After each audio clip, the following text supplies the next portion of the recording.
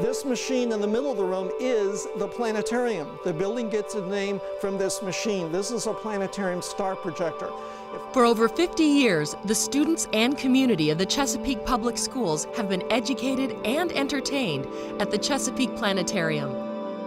The story is Zeus struck Phaethon out of the sky with a bolt of lightning. And for the last 46 of those years, one man has been at the helm. We use it uh, in the elementary grade levels mostly, grades one through six. Um, and it's really a, a, an instructional tool to motivate students to get interested in the sciences.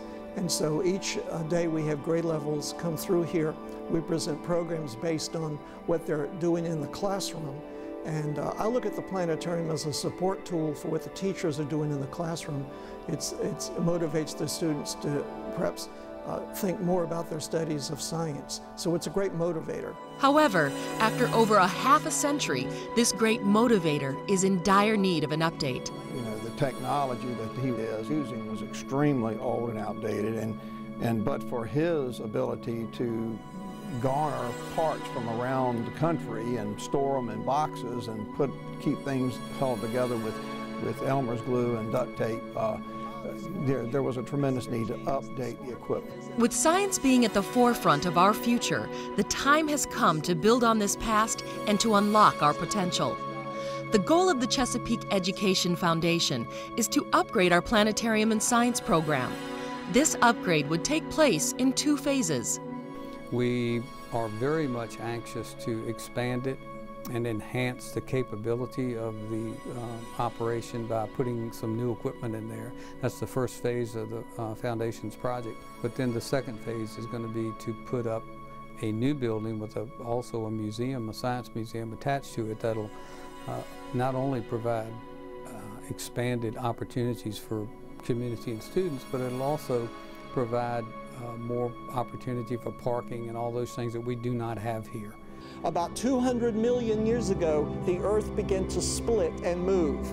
The Education Foundation has a chance to uh, help fund something that will be seen by so many people. This facility is one of the few facilities owned by the school system that gets such widespread use. All the elementary students in the city will come through here. Um, we are outgrowing the facility, of course, and we would like to expand it into a science center where we can maximize that effort of bringing the students out of the classroom to the planetarium and then have an exploratorium sort of room or a science center with it so they could experience a lot more science than just the planetarium. We will continue to offer free programs to the public, and the new facility would become a destination for all the people of the Chesapeake area. STEM is becoming such a big deal that this is an extension of the STEM program. Recently, the first Dream Session was held to begin the process of laying the foundation for the new Science and Planetarium Observatory Center project.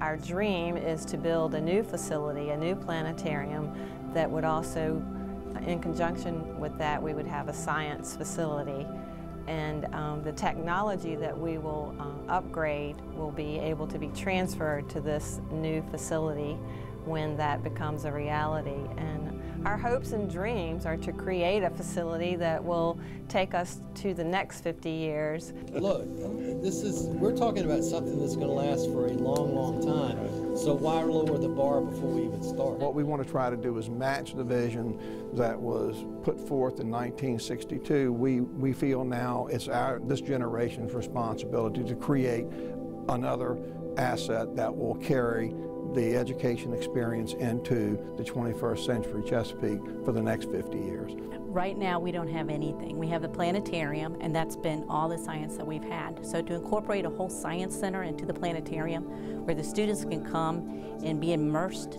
in science activities, hands-on projects, hands-on exhibits to help them to open up and see this, to see where they can go to build that passion for science and to see that the planetarium and how the whole world of science builds upon the planetarium.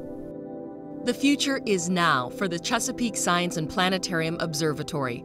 To invest in our future, please make a donation either by mail or pay online through PayPal at www.cpsef.org.